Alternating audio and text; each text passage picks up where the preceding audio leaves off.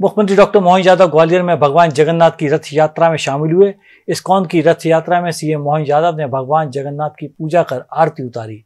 साथ ही रथ यात्रा मार्ग की सफ़ाई की। और रथ भी खींचा। ग्वालियर में भगवान जगन्नाथ यात्रा महा महोत्सव का भव्य आयोजन हुआ। इस मौके पर रथ यात्रा निकाली गई। भगवान जगन्नाथ, बलदेव और बहन सुभद्रा के साथ नगर भ्रमण पर निकले।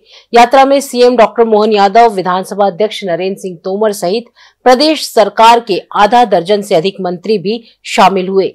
सभी ने भगवान जगन्नाथ का रथ भी खींचा। इस मौके पर सीएम मोहन ने ग्वालियर वासियों को बधाई देते हुए कहा कि आज श्रद्धा भक्ति का सैलाब उमड़ा है। मुझे इस रथ यात्रा में शामिल होने का सौभाग्य मिला।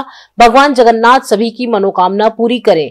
इस यात्रा का वैभव बढ़ता रहे और भगवान जगन्नाथ की कृपा हम सब पर बनी रहे। साथ ही उन्होंने कहा कि पूरी दुनिया में इस्कॉन द्वारा भारतीय सनातन संस्कृति और भगवान राम एवं श्री कृष्ण के संदेश को जन जन तक पहुँचाया जा रहा है। ग्वालियर की धरती पर इस्कान मंदिर द्वारा भगवान जगन्नाथ रथ यात्रा निकालने का जो उपक्रम किया है, मैं अपनी ओर से इस्कान इंटरनेशनल के इस पूरे अभियान में शामिल हुआ।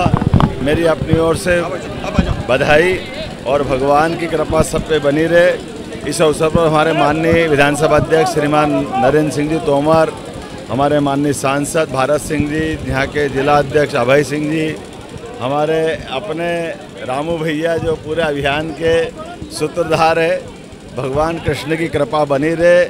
हमारी हिंदू सनातन संस्कृति में भगवान कृष्ण, बलराम और सुभद्रा की जगन्नाथ रथ यात्रा की तरह ग्वालियर में पाँचवा साल हुआ है।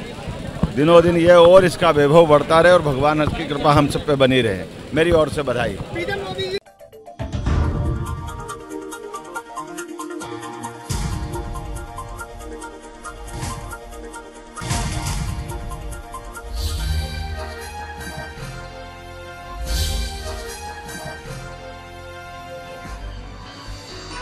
आप देख रहे हैं दखल न्यूज़।